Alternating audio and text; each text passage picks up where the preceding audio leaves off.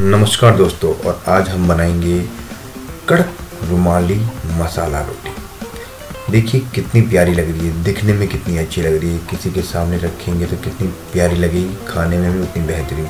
आओ बनाते कैसे हैं, देखते हैं इसको। सबसे पहले मैंने यहाँ पे लिया है आधा किलो आटा व्हीट फ्लावर और उतनी ही मैंने सूजी, तकरीबन आधा किलो। सूजी मैंने यहाँ पे ऐड कर ली है।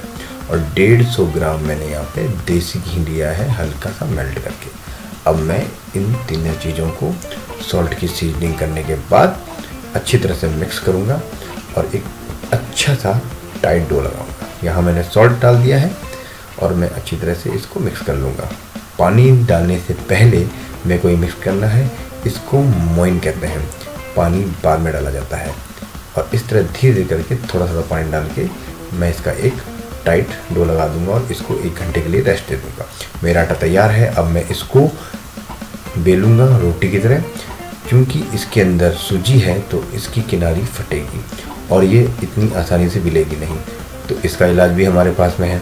हम बेलते रहिए इसको और लगातार फ्लार और सूजी की स्प्रिंकल करते रहिए, जिससे कि और भी कड़क हो और आपका नीचे चिपके भी नहीं आए।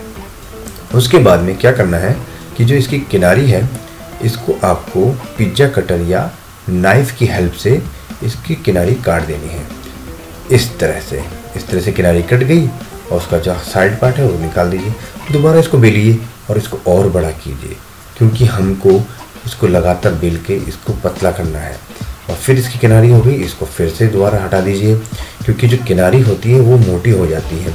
इसलिए लगातार इसको बेल बेल के आप लंबा कीजिए और किनारी भी आपकी पतली हो जाएगी। इतनी बारीक बनेगी ये। देखिए अच्छी तरह से। अब इसको रुमाली का तवा लीजिए।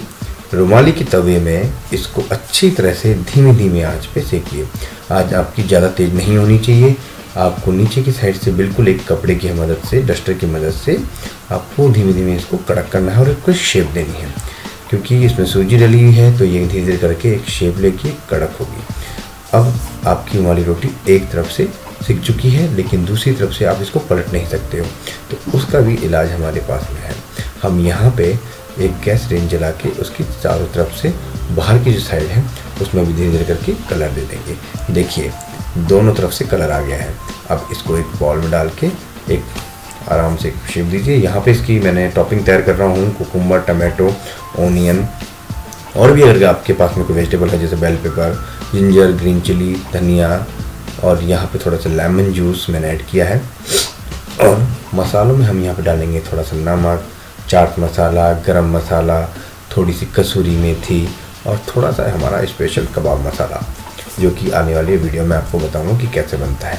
इसका जो स्प्रे लगाऊँगा मैं, उसमें है देसी घी, देगी मिर्च, कसूरी मेथी सॉल्ट और थोड़ा सा ऑरिगेनो और ब्लैक पेपर ये मैं रोटी के अंदर की तरफ़ से लगाऊँगा।